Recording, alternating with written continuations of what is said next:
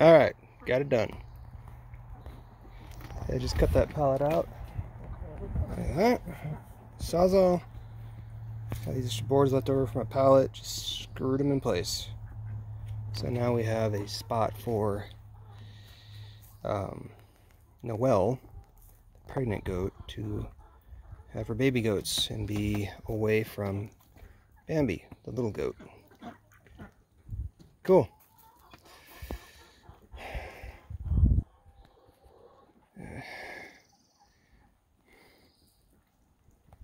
And the chickens. Doing what chickens do. And the ducks. Doing what ducks do. Alright.